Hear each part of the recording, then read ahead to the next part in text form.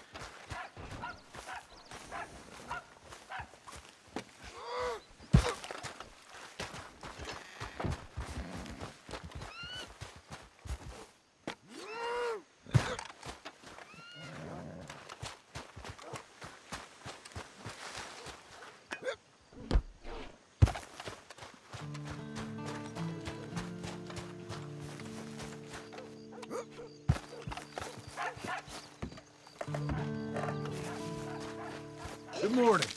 You got any idea what you look like right now? I like being strange.